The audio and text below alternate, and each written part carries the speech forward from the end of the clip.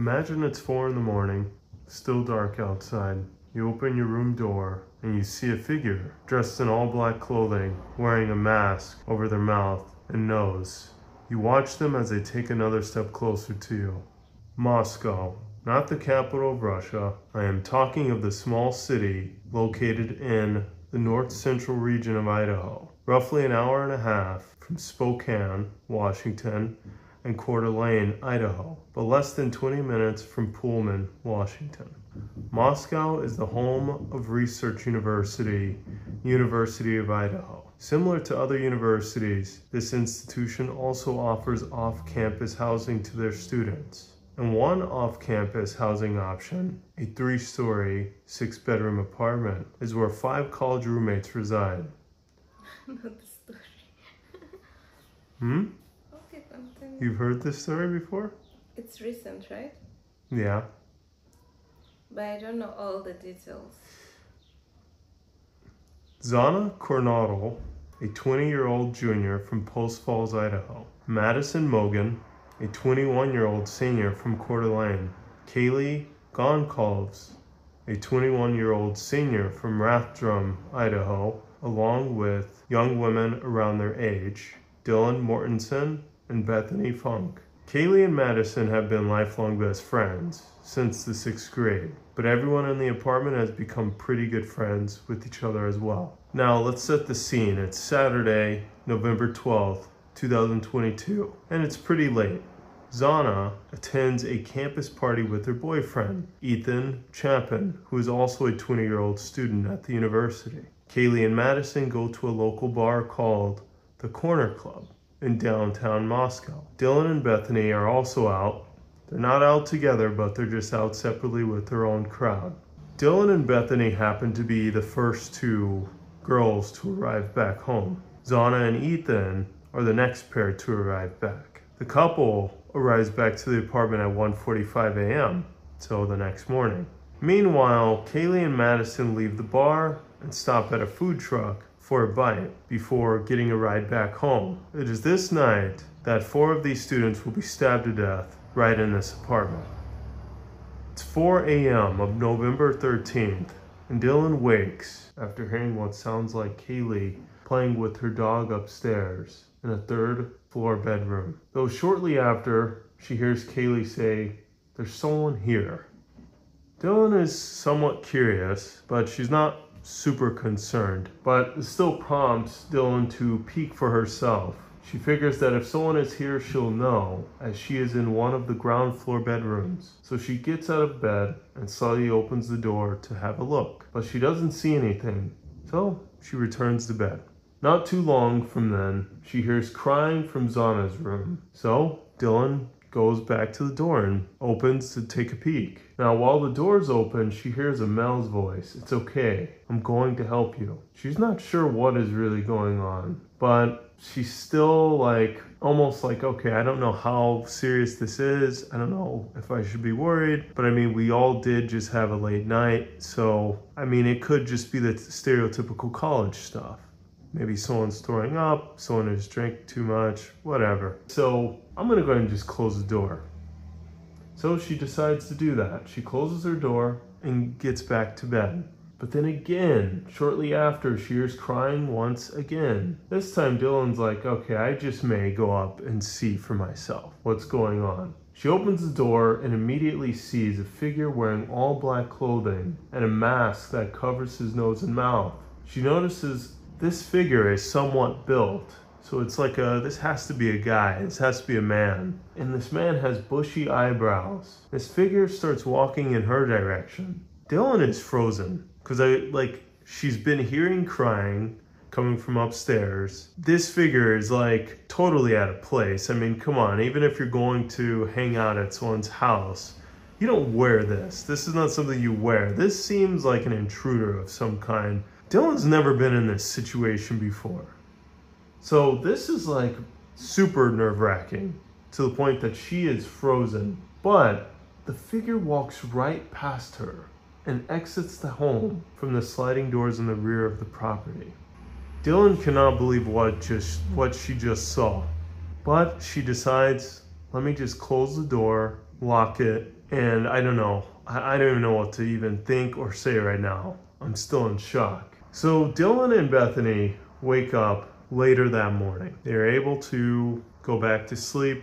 Dylan is still not sure what she saw, but she was able to go back to sleep. Each of them come together and say, like, did you hear the noises coming from upstairs? Did you hear the crying? And both of them kind of confirm that yes, I did, but I'm I'm not sure because Bethany, I should say, also stays in one of the ground floor bedrooms. And they're kind of like they're feeling uneasy about what they just heard, but they don't they don't want to go upstairs and see for themselves. They're just kind of nervous about the whole situation. So to help calm their nerves, they actually call their friends first. They call some friends over to possibly maybe get their mind off of it or just have someone there because they're just not sure. And both of them come around to talking to their friends about what they heard. They basically say, "Yes, we heard crying and it just it just feels like something has happened upstairs, but we're just not sure." By 11:59 a.m., the group of friends decide to finally call the cops.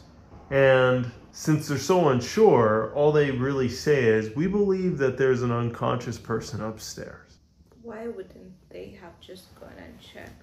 They're afraid. These are these are young young women in college. They don't know how to even deal with this. They've never been in a situation like this. So they're like, okay, let's call the cops and just say there's an unconscious person upstairs. So, of course, as a lot of us could be thinking, well, an unconscious person, I don't really know what to make out of that. And neither would a cop, really. I mean, cops still not sure. Once when they arrive, they're they're like, "Do you mean someone has passed out drunk? Like, what do you mean an unconscious person?" But anyhow, they end up arriving at around 4 p.m. and they stumble upon a horrific scene. They do not realize, okay, so by unconscious person, you're actually talking about Dead these dead bodies upstairs. This is crazy. They notice that it doesn't seem like there was like a force of entry. The, the doors are not broken, you know, windows were not shattered. It seems that someone was able to find a way in. I guess I can say appropriately. I hate to say it like that, but yes, it's true. And the police find that Madison Mogen, Kaylee Goncalves, Xana Kernodle, and Ethan Chapin have all been murdered on the second and third floors of the apartment. None of the victims are gagged or restrained, but the walls show it all. The walls show a story. There's blood splattered on all of the walls in the rooms. Madison Mogen and Kaylee Goncalves are found in Madison's bedroom, and Xana and Ethan are found in Xana's room. The police do find one thing. They find a knife sheath, you know, like the where you place your knife. It's like mm-hmm, a. Mm-hmm, mm-hmm. They find that lying next to Madison and Kaylee, but they do not find anything else. So, to kind of give you a little background, the police department of Moscow is quite small. Moscow, Idaho is small in general. So, of course, they only have like a few dozen officers. So, they're figuring that, okay, this doesn't happen every day. We're probably going to need to employ additional investigators to help us find out who did such a heinous act. So, the first two weeks of December entail them going through a number of possible leads. They placed their focus on classmates of the victims, men known for sending harassment messages to women, even women charged with assaults in the region, men accused of welding knives, sex offenders, and even white supremacists in the area. They're like, we need to find some kind of lead. So, anyone who we may think could lead us in the right direction, just look into them, but they find nothing. The local coroner reveals that each of them were stabbed multiple times from a very large knife in different places of the body and at different times. Within the same time frame, though, obviously. There were no signs of sexual assault, so this person was after blood. The coroner mentions that in her 16 years of working, she's never seen anything like this. So, since the police department are pretty much empty and exhausted of all their any kind of leads, they result in utilizing the public's help and specifically the neighbors closest to the home or closest to the apartment. And some of the neighbors are able to help, in particular, those with surveillance systems. In the footage, they can see that a white Hyundai Elantra vehicle travels toward the home at around 3:30 a.m. Then shortly after, the same vehicle can be seen driving past the home several times in a row. By 4:20 a.m., the vehicle can be seen speeding off at a high speed away from the property. Not knowing any other details other than the vehicle, the Moscow Police Department requests for local law enforcement to search for a white Elantra in the area. Because, I mean, that's a lead. That's somewhere, that's something that we can at least look into. This influences the investigation from the campus police of Washington State University, an institution located in nearby Pullman, Washington, a school that is less than 20 minutes away. They take a look at the security footage on campus and notice, wait a second, that's a white Hyundai Elantra right there. And that Elantra is heading in the direction of Moscow shortly before 3 a.m. on November 13th. And that same vehicle can be seen arriving back to campus at around 5:30 a.m. So now things are starting to fall into place a bit. Mm, So least they can find who the, car belongs to. Exactly. So the campus police then search the vehicle registrations of WSU students. They find that the white 2015 Hyundai Elantra is registered to a Bryan Kohberger, a vehicle that originally had Pennsylvania plates but recently obtained Washington state plates. They provide that information to the Moscow Police Department. This can be helpful to you guys. So they take a closer look into Bryan and they find that actually he was the subject of a traffic stop back in August of 2022. During that time, he provided us a phone number. Perfect. Let's look into that. But first, who is Bryan Kohberger? He was born on November 21st, 1994. He completed an associate's degree in psychology before completing a bachelor's in 2020 and a master's in 2022. Both degrees were obtained from schools in Pennsylvania. Now, Bryan is a PhD student studying criminology at Washington State University, the Pullman campus. So it just seems that this fella is, he could very much so be so infatuated with crime, right? Because that's what criminology is, if I'm I know not it mistaken. doesn't even make sense. You're studying something on a PhD level. Yeah, you go so far into the research. Like, it's almost like you really want to taste it yourself. It's like you get so far into researching to the point that you're like, I need to experience it myself. I don't think so. It has to be motivated by something else. So, do you think he's It's not about trying it out. Eh, no. You think he's motivated by something else? Yeah, maybe maybe they met somewhere. Maybe he was upset about something that they did. Hmm. Yeah. By mid December, Bryan's dad flies out to Washington State. He was cold. Now, Mhm. this is like towards the end of the semester. Mhm. So his dad flies out to Washington State and he's like, son, let's drive back to Pennsylvania. It'll be a nice long journey. You're all out here by yourself. I figured I'd fly out, we drive all the way back, enjoy each other's company. I mean, after all, you've reached the PhD level. I'm very happy for you. You just started over here and I'm happy. During their trip back, they were pulled over at least twice for tailgating. Small thing, right? You're driving a little too close to other vehicles. No problem. So the Indiana police just say, slap on the wrist, you're good. Keep it moving. But by late December of 2022, the Moscow police have the knife sheath, footage of the white Hyundai Elantra, and a name, Bryan Kohberger, who is tied to a phone number. So while he's enjoying his family, they're looking into him. The officers use the number to look into cell phone records. They attempt to see if the phone number had pinged to a cell phone tower near the crime scene or while traveling to or from the scene itself.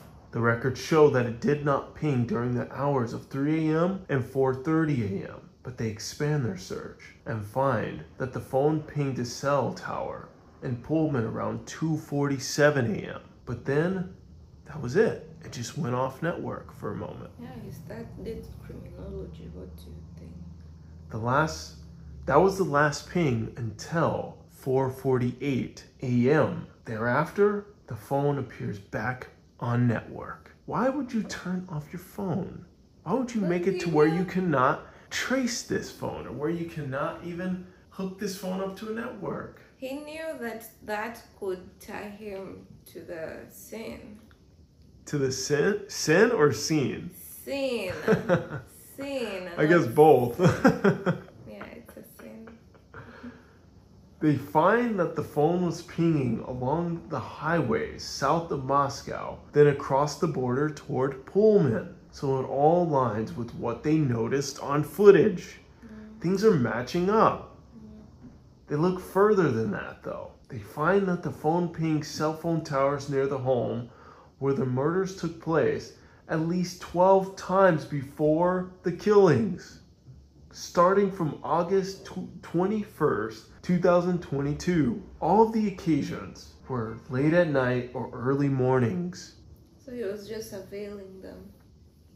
He was just doing his research and seeing how he can get them. Funny enough, they even notice that the phone returned to the area at 9:15 a.m., about 5 hours after the murder itself. They always say the killer always returns, Returns to back. the scene. Yeah, they're always there just trying to check and see what's up. Yes.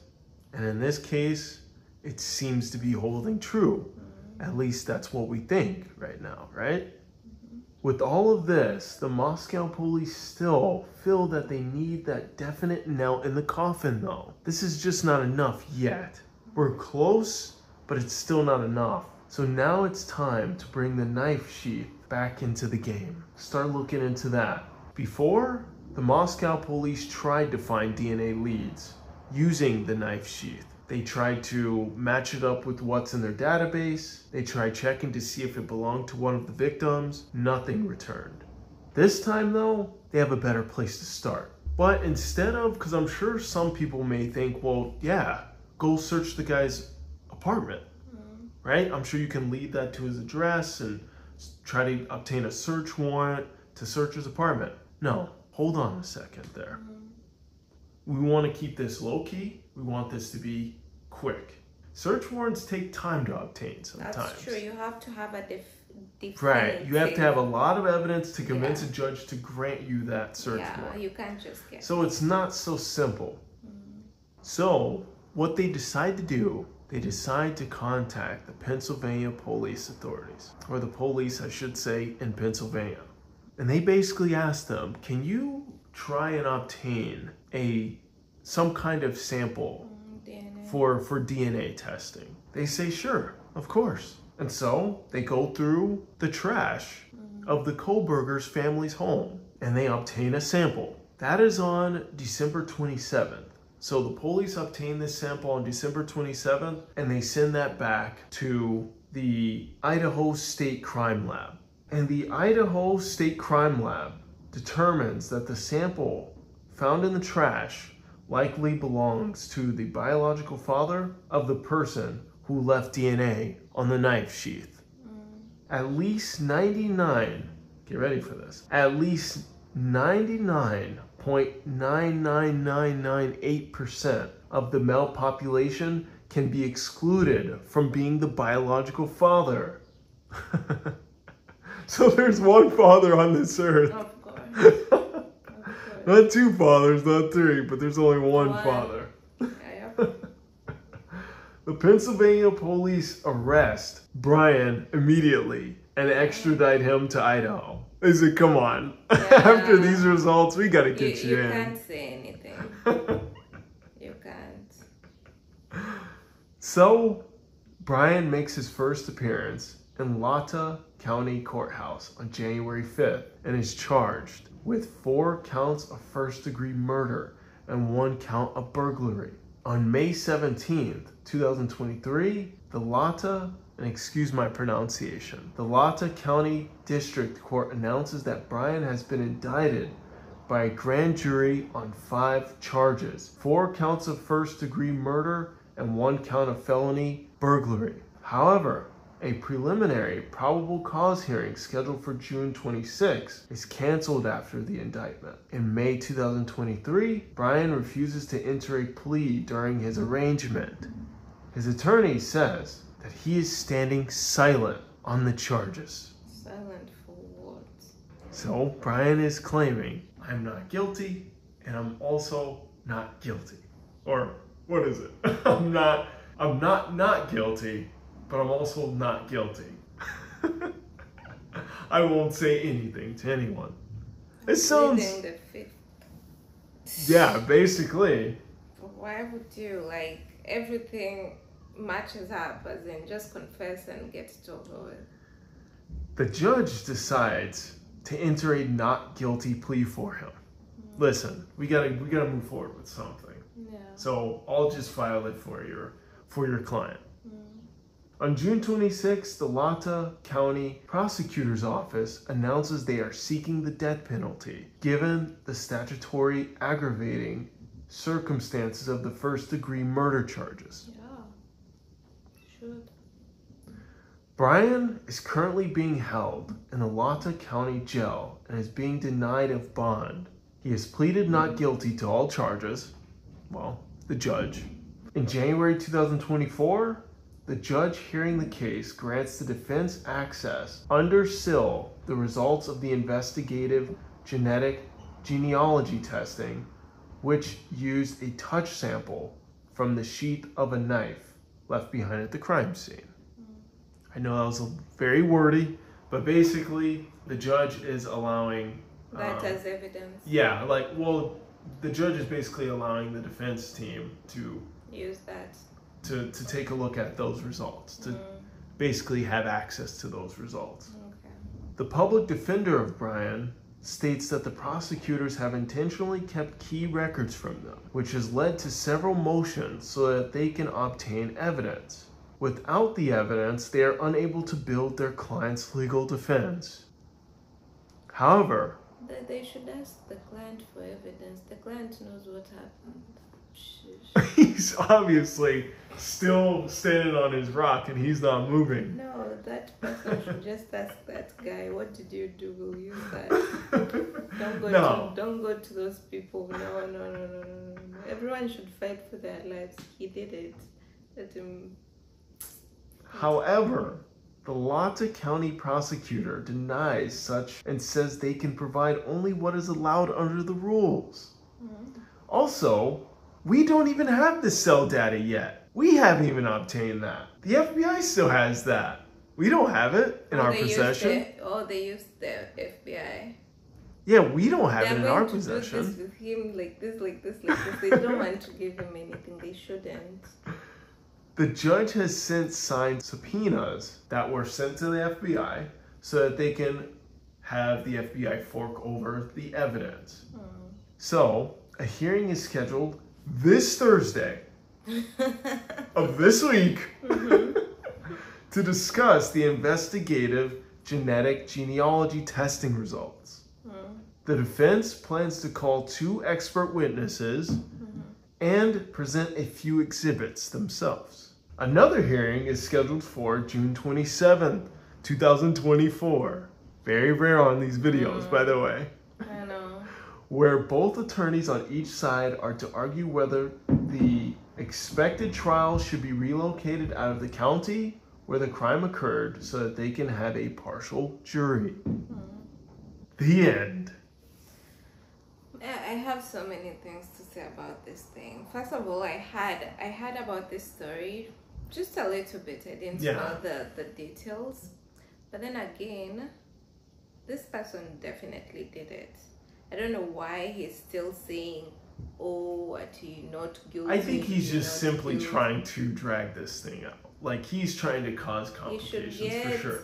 a death penalty. The way they usually do those things, and they say mm, for lifetime, sir. Oh, 20 lifetimes basically.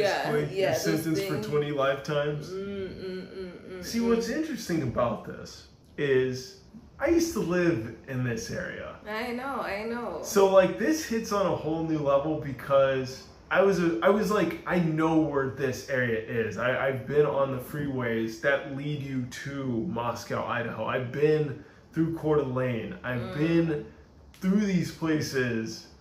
I, I So know people close to home. Actually, it happened while you were there. exactly, and that's and so like I remember seeing this on TVs. Yeah. I remember seeing like people talking about it. Like it was just it's a huge deal. Like so it's it's just Mm. I, I crazy. still have a problem with the with the roommates. I think with how they handled it. And I think that's how I heard of the story because people are saying they, yeah, they're hiding, they're hiding, them. yeah, they're hiding something. Why, why didn't they just call the cops and say, okay, just go check on it, or just go together? Because if she saw someone leave, of course they could not have been until morning. They could have just gone in and checked and called. Maybe someone could have survived that or something. Ah. They it's hard to. they it's wake hard up, to. call their friends, and Yeah, but it's oh, hard- someone who has passed out. When did you, did you have a beef with your roommates or what? You To be honest, though, to be fair, it's hard to judge how someone reacts in a situation where someone's I being guess murdered. the initial reaction, and then they go to bed. But once they woke up and they talked to each other, and they said, "Oh, I had the noise. I had the noise," they should have definitely tried to check up on them. Or rather, if they didn't want to go, they should have called the cops at that point, in that, like that exact moment. Eh, it's still it's hard. I, I i i personally don't want to take the stance of of of that. I don't. Because i don't want to place any blame on I'm not These blaming college- them. Of course, we can't blame them, but but it's kind of like saying why didn't you do something? It's like well clearly this person had been stalking them and he knew who he was going after he knew who his targets were. He didn't wipe out the whole house. He knew exactly who he was going after. He hasn't he hasn't explained his reasons yeah, but he knows know. exactly why right? So I, I'm it's sure almost like a person like this could not be stopped actually, I'm, I'm sure the girls are blaming themselves to some capacity. To a degree, sure, but I think that's They're exactly one of the reasons why we shouldn't Yeah. ask them. Why Yeah. didn't you do this? I mean, Because they, they're That's a telling, yeah, they're telling themselves, I wish I could have called Right, in right. for help during that Right. time. Like, I wish I knew if if I knew the, like, I should have just called in, called the cops at that point. Like, yeah, they're blaming themselves. So I take it back, kind of. yeah, I, but yeah, I take it back. I take, I, I will take it back for you because Yeah, that, yeah. that is, they're blaming it's- it's themselves much. so it's it's it's understandable but yeah the way you said probably they it's, it's processing for everyone it's different exactly, yeah yeah there are people who process things differently and maybe that's just how it was for them and Right. yeah but this guy should definitely be put down. Yeah. is what you think. yeah, yeah. I think so because you can't just kill four students Yep. and then you're saying not guilty and you're not even giving. Well, he's not even saying like I'm not guilty. He's just saying I'm not gonna talk. Yeah, and that's stupid. That's so, the worst. So yeah, that's why even the cops should not even nini with this person. They should not cooperate with this person and give them a T O, a T. This is the evidence. Yes, have, the, blah, the blah, blah. hearings have been very like both sides have been going hard on each other. Yeah, they should not give them any. The judge even of- has had to remind them, like, hey, They be could, professional. They could not like literally ask him where were you on such and such a night. He said no, I'm not talking. Yes, basically he hasn't no. He's yeah, he's only said one thing in in any of the hearings. And it hasn't been anything like, "Oh, I was here this n-" no. He hasn't really said. He much. hasn't even said why he went to No, that no. location. Nope. He's not providing any explanations. Yeah, he should be put down.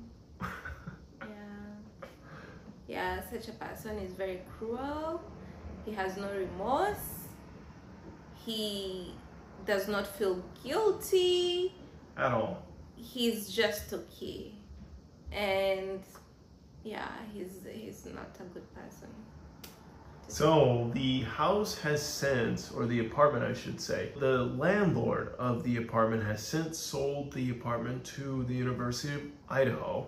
Mm-hmm. And December, I believe it's December 28th of last year, University of Idaho has since decided to demolish the home. They Yeah. or they demolished it on that date because you obviously can't Yeah. have that. Uh, you can't Yeah. you can't occupy that anymore. Like no one's gonna move in there. Yeah, that's true. So it's best to unfortunately get rid of all that. Have the community try and heal. Um, I'm just thinking about this case and I'm like, this person would rather be sentenced than say what actually happened. yeah. And it's so saddening because we need to know what actually made him do all this and what led him to stalk these people and literally end their lives. And it's very sad because, as I told you, the ages, Mm, they're very young. these people are not even living an adult life. Mm, Like, these are still kids in my mind. yeah. Like, if you're below the age of 23, I'm sorry, but you are still very much so a kid to me. Because, like, I mean, there's so much life you haven't lived. Yeah. College is not the the adulthood yet. You're not an adult in college yeah, yet. True. So these were children that were killed.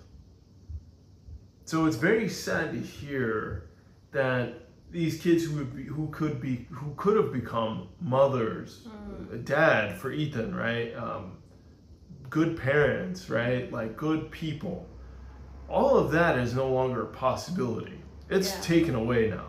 So it's very sad to hear a story like this and to also have a jerk like Bryan not say anything, Yeah. right? Because even though like we're disconnected from this, the families aren't. Mm. So, and even though if you have the person tell why I did it, doesn't mean your kid's gonna come back, but it still settles more, Yeah. right? But when you have just a, oh, I don't even have a reason, Yeah, I wouldn't tell you.